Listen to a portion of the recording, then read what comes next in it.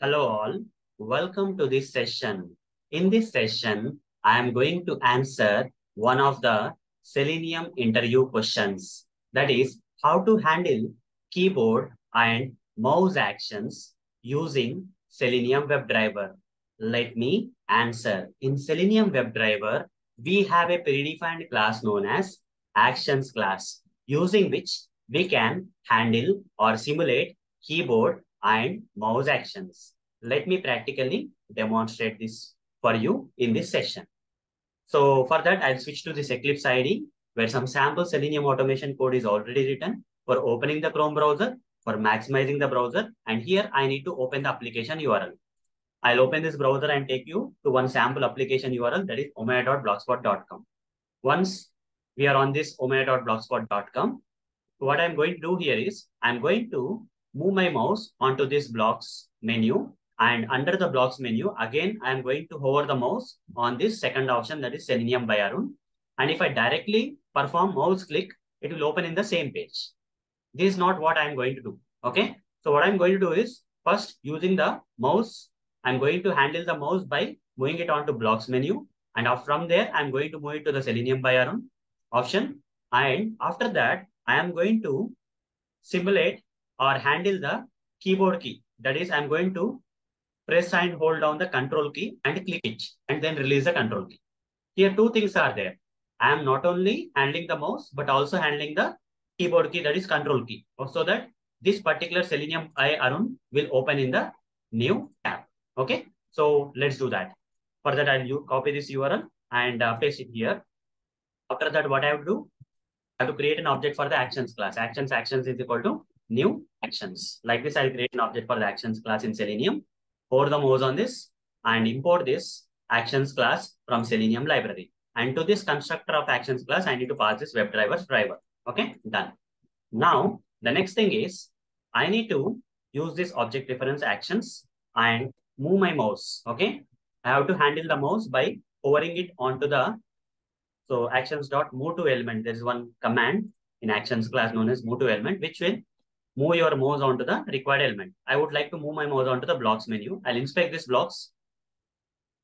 And this is HTML code. It has an ID. This blocks has an ID. Copy this and create a web element. Before moving to this, here create a web element.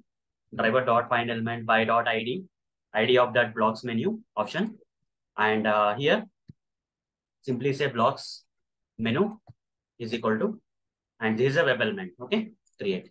Now copy this web element inside this move to element. Okay. After hovering the mouse onto the blocks, now I want to move to the Selenium by Arun. I'll inspect the Selenium by Arun, which is uh, which is some text between this span tags. Okay. Copy this. Under the anchor tag, we have the spam uh, span tag. Under span tag, we have this. So I'll do one thing. I'll create an XPath expression double slash a slash span text is equal to text function is equal to like this. I'll create an XPath expression. Once this is created, it, it is located. Selenium by Arun got located. Copy this XPath expression. Come back here and uh, create a web element. Here I have to move from here to move to element again.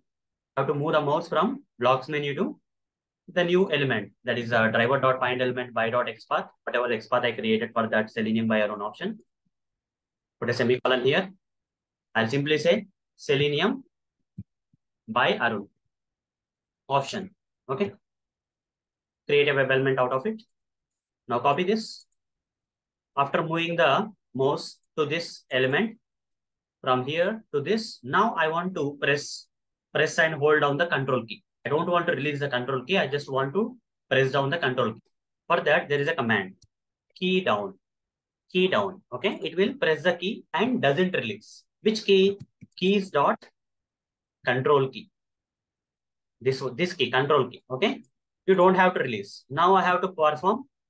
Here in this process, you have already handled the mouse. You already handled the keyboard key by pressing it down, press, pressing the control key down. While the control key is pressed down, you want to mouse left click. For mouse left click, you have to use a command known as dot click command. That's it. Okay. And after clicking, I would like to release this key. Whatever the key that is pressed down, I would like to release. How to release? Say dot key up, key up. Again, the same key you provide, keys dot control. Okay, keys dot control like this. And now at the end, put the dot build dot perform. If you don't provide this dot build dot perform, all these commands will not be working. Okay, actions class commands to work, we have to end them with there are multiple commands. You have to say build dot perform. If there is only one command, directly dot perform. Okay. Uh, you can organize like this if you want. Okay. You are not able to see everything, just organize like this. These are all the activities we are doing. Okay. Dot build dot perform. Okay. So actions.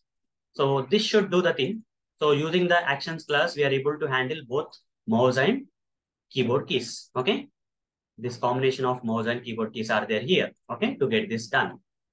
So right click, run as the application, run this code. Let's see what's happened. What will happen? It should open that Selenium by Arun option in that blocks menu in a new tab. Okay, that should happen. It should hover the mouse onto the blocks menu. From there to the Selenium, it should open in the new tab. You see, everything has been done. Selenium by Arun has been opened in the new tab. Okay, so hope guys, you got the answer for this question. That is how to handle the keyboard and mouse actions using Selenium WebDriver. So that's all for this session. Thank you. Bye-bye.